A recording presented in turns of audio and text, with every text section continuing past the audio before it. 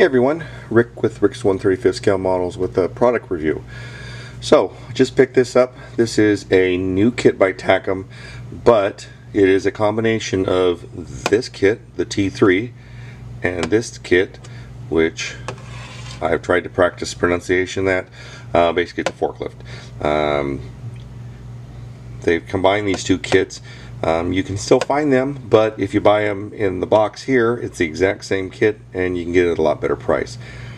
So let's take a look at the product itself and kind of talk about it.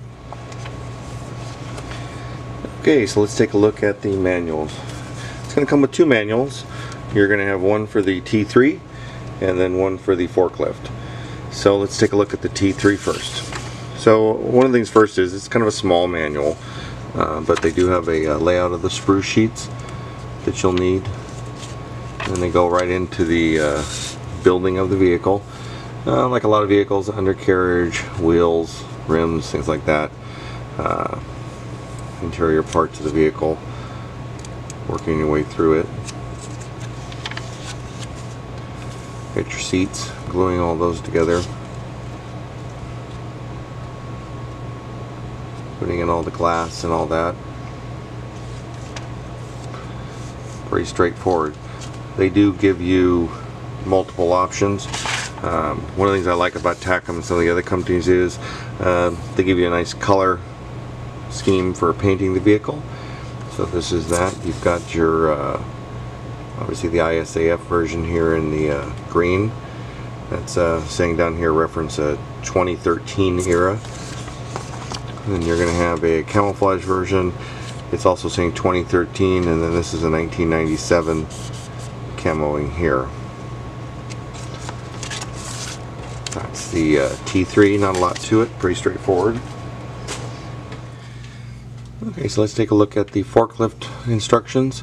Um, you're going to have four different versions you can build. A uh, one with a plow, short forks, long forks, or a uh, boom type crane going through the instructions you've got your sprue sheet. Then you jump right into the actual assembly of the vehicle your suspension and that. All these parts here are not to be glued so they actually can uh, turn the front tires and pivot. You've got your spare tire in the back going through all these your tow rod building the uh, supports. This is the uh, PVE sheet basket I was talking about earlier. You've got your exhaust pipes, different protective uh, elements here, along with your uh, crew member seats. Building the boxes they sit in, along with your steering, all those types of devices, windshield wipers, interiors, etc.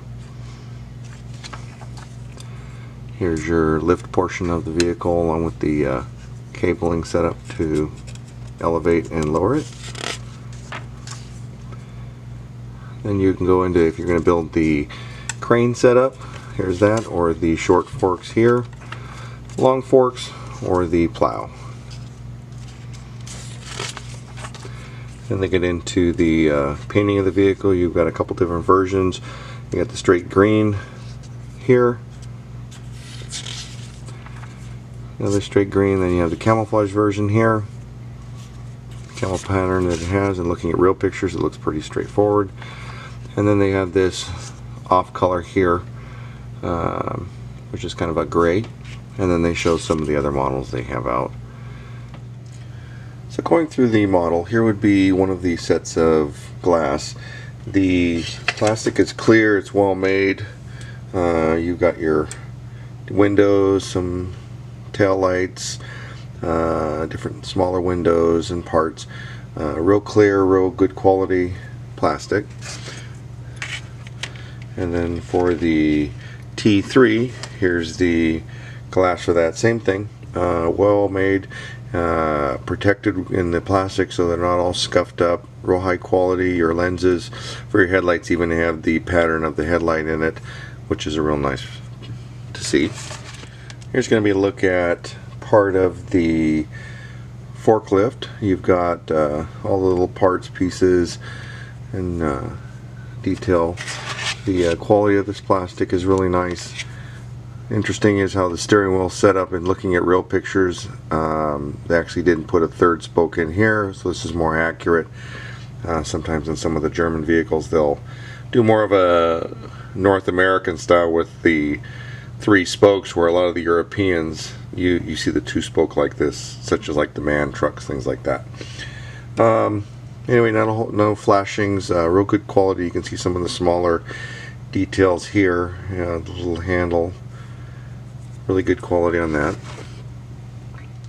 Here you're to see your doors parts here fenders some of the framing of the doors at the rear same thing.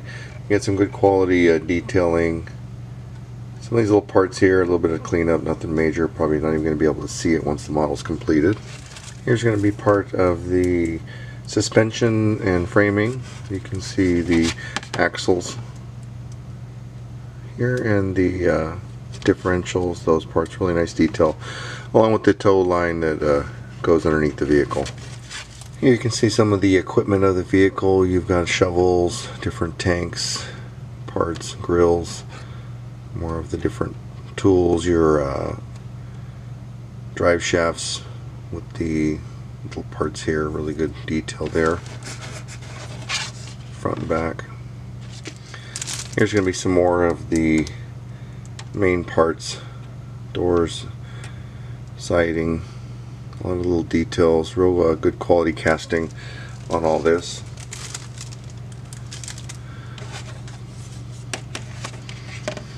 See the details in the back side of the casting.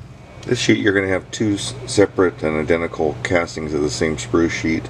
You've got your rims, some more of your uh, tanks, chalking, different uh, lines. This is probably for the winch. You'll see the uh, cable system there and chain. An idea of the back side of this. Real good quality again. A little bit of flashing here, uh, little sprue pieces to cut off, but uh, this usually cleans up really nicely. And here's going to be the main frame of this vehicle. Once again, you can see the detail, different parts there the underside.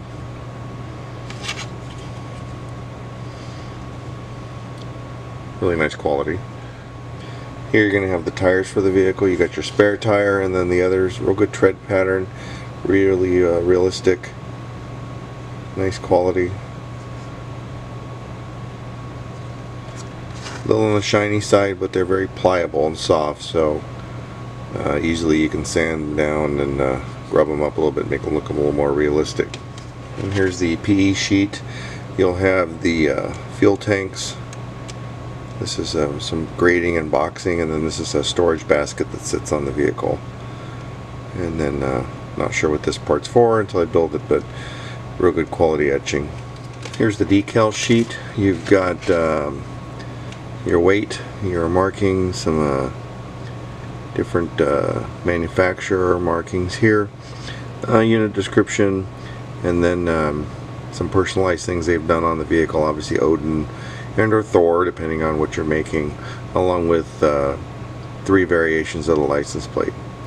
So and then some uh, placarding decals and different things. This will be parts for the T3 you can see on inside uh, details for inside the vehicle your back hatch parts of your back hatch. Uh, here, your sliding door, some seats, different parts here. This is going to be for the hatch to lock it open. This is the back of the seats. And you can see you have to put the backing here to uh, finish the seat off, but it still will look real sharp. And then the inside of the door itself. This will be some more interior parts and suspension, along with your uh, spare tire and uh, other tire the rims for those um, parts of your bumper transmission front grille the doors the seat backs for all these seats uh, windshield wipers different interior parts uh, hubcaps brake drums turn signals or turn mirrors, uh, mirrors, etc. Suspension and that. Real good detail along with the gear shift. Backside inside of the doors. Pretty basic and simple. Along with their plating there. Really nice detail there. Nice thing about the springs, um, there's not a lot of interior cleanup there, so what you can see of them will look real sharp and nice. And then the brakes have the calipers on the inside and the outside, so a real sharp detail there. On this sprue sheet, you're going to have your main pan, the uh, underside of the vehicle. You have a trunk area there. Um, some of your door interiors here, dash, more of the suspension seats, some framing, uh, exhaust pipes, those types of things. You can see the back side of this. None of these are going to be visible, so none of this really is that important. A little bit of sprue here, you're going to have to make sure you clip off or it's going to make it a fitting an issue. And you're going to have the main body of the vehicle. Uh, a lot of sprue here. and they've added in obviously to keep this stable uh, before purchase, but uh, once this is cleaned up, it'll look real sharp. One of the things that's noticed about this is, is this is pretty thin plastic, um, so you're not having an oversized done. There's only a few little dots here uh, to sand down. That's nothing major to clean up. good uh, conformity, real uh, nice packaging, so it's, it's a well protected part. You can also see inside there you've got your uh, visors, the back hatch opening, some of the different body parts. Here's going to be your tires. Uh, pretty small, but uh, real sharp looking. They're very uh, soft and pliable. Um, no real markings on these either inside like you would have like the uh, some of the markings.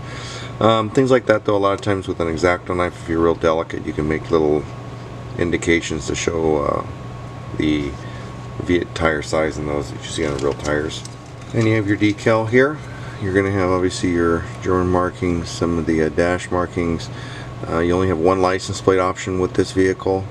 Uh, then you have ISAF and then uh, SFOR decals depending on where you're doing along with the uh, Arabic writing here if you're doing the ISAF version. The final sprue sheet's going to be your figure.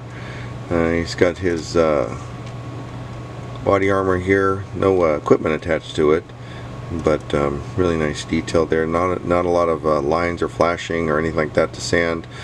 The uh, face detail is uh, good quality. It comes with one rifle, which uh, real good quality and detail on that. Uh, real sharp looking. See the back side of all that. Really sharp. Looking at the hands, they're wearing gloves.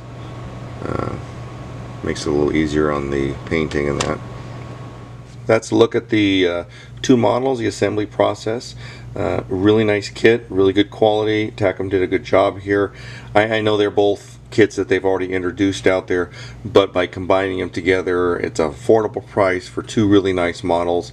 Uh, anybody who's doing any of the modern Bundeswehr type things, these are things you're going to need in the background. You know, they use lots of these vehicles, they use lots of these. Um, very useful. So anyway, take care everybody. Uh, please like, subscribe, hit the bell. Um, any questions or comments, please feel free to reach out to me either on my Facebook page, uh, email, or uh, just type in a comment or question in the uh, lower portion of the text and I'll uh, get back to you as soon as possible. Take care everybody. See you on the next one. More videos coming soon and have a great day. Bye-bye.